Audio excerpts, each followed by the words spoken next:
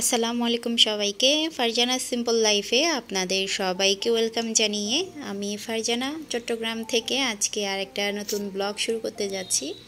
আশা করি আপনারা যে যেখান থেকেই আমার ব্লগটি দেখছেন সবাই ভালো আছেন, সুস্থ আছেন, সবাই নিরাপদে আছেন।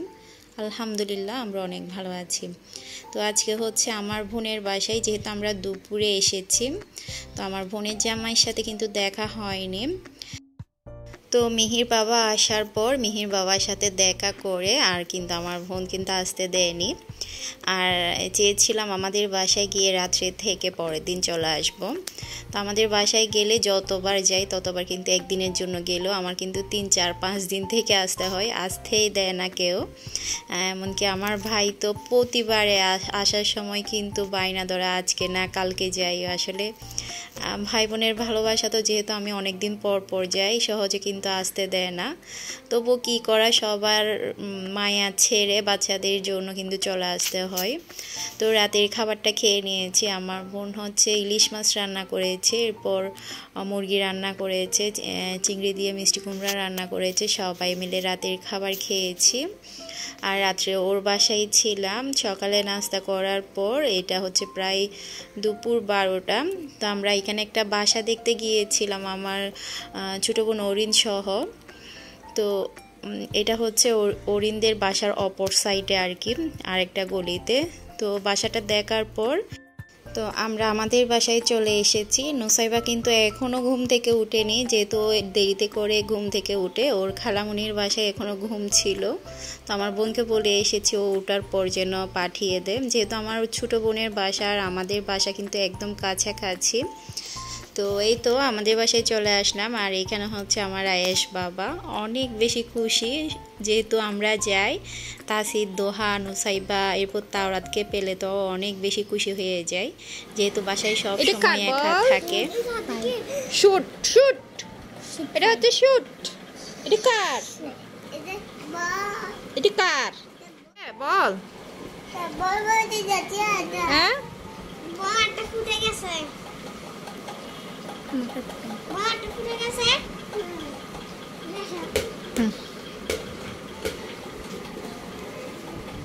তো আমি হচ্ছে আমাদের বাসায় আসার পর আর কিন্তু বোরকা না খুলে আবারও বের হয়ে গিয়েছিলাম।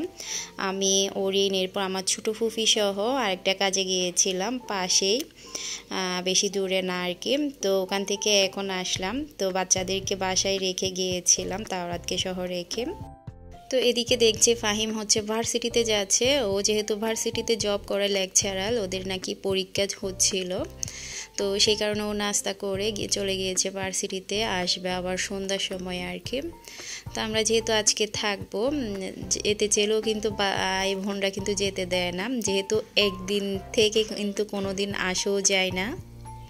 তো এদিকে হচ্ছে তাসির দোহারও স্কুল খোলা। স্কুল খোলা রেখে গিয়েছিলাম একদিনের জন্য। তো একদিন থেকে তো আসতে পারব না।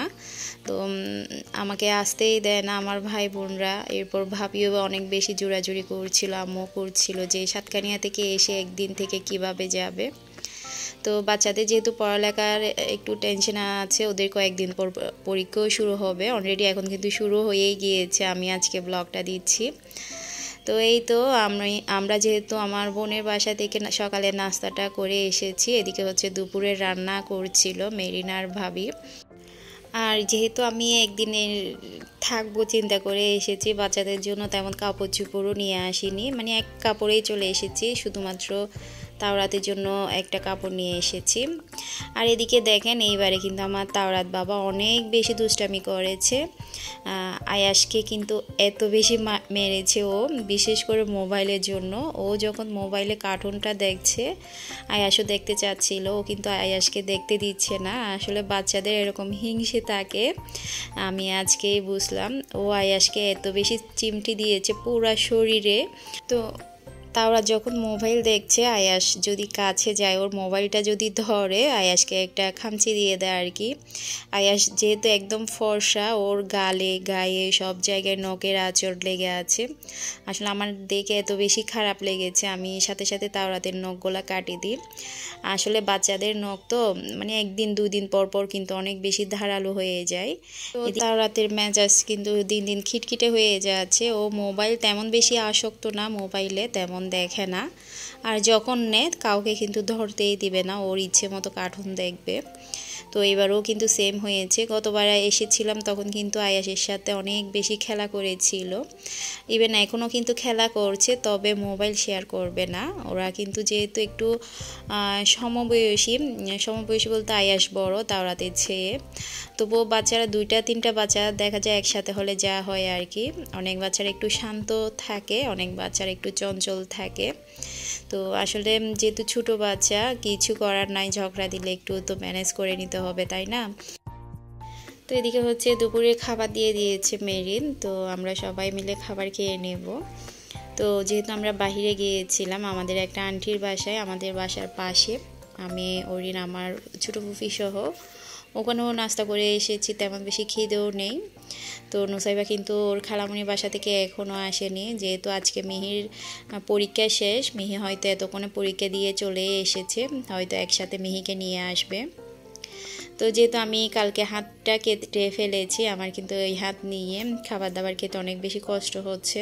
তো আমাদের বাসায় দেখলাম কচু ছড়া রান্না করেছে চিংড়ি দিয়ে। তো আমাদের ঘরে সবার এত বেশি অ্যালার্জি। কালকে রাতও অরিনের বাসায় ইলিশ মাছ রান্না করেছে। নোসাইবার আব্বু তো ছুঁয়েও দেখেনি, যেহেতু ওনার প্রচুর অ্যালার্জির সমস্যা হয়েছে। তো আমি যেহেতু কচুটা পছন্দ করি, তো আমি যাই হোক, অ্যালার্জি হলেও কিন্তু খেয়ে নিয়েছি। আমার এত বেশি পছন্দের আর অনেক বেশি মজাও হয়েছে। তো এদিকে দেখেন বিকেলে নুসাইবা নুসাইবার মিহি মিনহা চলে এসেছে। মিহির কিন্তু পরীক্ষা শেষ আজকে। তো আমরা আসলে কিন্তু অনেক বেশি খুশি হয় বিশেষ করে বাচ্চারা সবাই যেহেতু একসাথে হয়। এদিকে ভাবি তো গরম গরম ডাল পুরি বানিয়ে দিচ্ছে। এদিকে ভেজে নিচ্ছে, সাথে সাথে কিন্তু বাচ্চাদের দিয়ে দিয়েছে। আর ভাবির হাতের ডাল পুরি মার্শাল্লাহ অনেক বেশি মজা হয়। তবে আমিও বানাই, কেন জানি না, আমারগুলো চেয়ে কিন্তু ভাবিরগুলো একটু মজা বেশি হয়। তো যেহেতু গরম গরম ভেজে দিচ্ছে, বাচ্চারা তো অনেক বেশি পছন্দ করে। বিশেষ করে নুসাইবা কিন্তু অনেক বেশি পছন্দ করে ডাল ডালপুরিটা তো ওর মামি নাকি জিজ্ঞেস করেছিল, তোমরা কি পাস্তা খাবে নাকি ডালপুরি খাবে? তো বাচ্চাদের মধ্যে কিন্তু বুট হয়ে গিয়েছে কে পাস্তা খাবে কে, ডালপুরি খাবে। তো সবাই নাকি বলেছে ডালপুরি খাবে আর কয়েকজন বলেছে পাস্তা খাবে। তো ভাবি কিন্তু ডালপুরি এদিকে গরম গরম বানিয়ে দিচ্ছে সবাইকে। বাচ্চারা তো খেয়ে উঠে গিয়েছে, লাস্টে আমরা খাচ্ছি। তো নাস্তা খাওয়ার পাশাপাশি আমার ভাই বোন যে আপুরা এতক্ষণ ধৈর্য সহকারে আমার ব্লগটি দেখছেন আপনাদের যদি আজকের ব্লগের কোনো একটা অংশ ভালো লেগে থাকে প্লিজ একটা ছোট্ট লাইক দিয়ে দিবেন। আর যারা এখন আমার চ্যানেলে নতুন, আমার চ্যানেলটি সাবস্ক্রাইব করেননি, আপনাদের যদি আমার ব্লগগুলো ভালো লেগে থাকে প্লিজ আমার চ্যানেলটি সাবস্ক্রাইব করে আমার পরিবারের সদস্য হয়ে থাকতে পারেন। আর সাবস্ক্রাইব করা থাকলে একটা সুবিধা হয়, আমি নতুন কোনো ব্লগ ভিডিও আপলোড দিলে আপনাদের কাছে কিন্তু নোটিফিকেশনটা যাবে আর আমার চ্যানেলটা খুঁজে পাবেন। আর যদি সাবস্ক্রাইব করা না থাকে, অনেক আপুরা দেখেন, ব্লগ ভিডিও এমনিতে দেখেন, কিন্তু সাবস্ক্রাইব না করে, এতে কিন্তু আমার ব্লগ চ্যানেলটা আপনারা খুঁজেই পাবেন না। হয়তো অনেক দিন পর আমার কথা মনে এসেছে আপনাদের। চাইলেও কিন্তু চ্যানেলটা চোখের সামনে পড়বে না। সেই কারণে আপনাদের কাছে অনুরোধ রইল, আমার চ্যানেলটা যাতে সাবস্ক্রাইব করে পাশে থাকা বেল বাটনের অল অপশনটি অন করে রাখেন। এদিকে হচ্ছে মামাতো ভাই আর ফুফাতো ভাইয়ের মধ্যে ভাব হয়ে যাচ্ছে, মারামারিও দিয়েছে। আয়াস তাওরাতকে মেরেছে, তাওরাত তো খামছি দিয়ে আয়াস, আয়াসের পুরা শরীরটা একদম জাতা অবস্থা করে ফেলেছে। আর আয়াস কিন্তু তাসিরকে অনেক বেশি পছন্দ করে, ভাইয়া ভাইয়া বলে এত বেশি পাগল হয়ে যায়। আসলে তিনজন ছেলে একসাথে হলে যা হয় আর কি। আর তাসিরও কিন্তু আয়াসকে অনেক বেশি পছন্দ করে। একটা মাত্র মামাতো ভাই। আর ছেলেরা দেখা যায় ছেলেদেরকে পছন্দ করে, মেয়েদের চেয়ে ছেলেদের সাথে থাকতে চাই একসাথে খেলা করতে চাই এই আর কি। তো আমার আজকের ব্লগ এ পর্যন্ত। সবাই ভালো থাকবেন, সুস্থ থাকবেন। আমাদের জন্য দোয়া রাখবেন। আসসালামু আলাইকুম। আল্লাহ হাফেজ।